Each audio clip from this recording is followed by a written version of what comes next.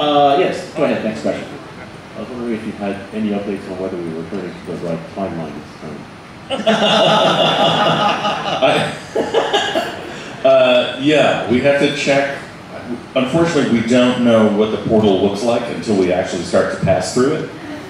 Uh, we can, uh, it's not fully random. We can, we can uh, put our thumbs on the scales. Hopefully, we'll get back to the right timeline. You know, we'll, we'll do our best. Yeah.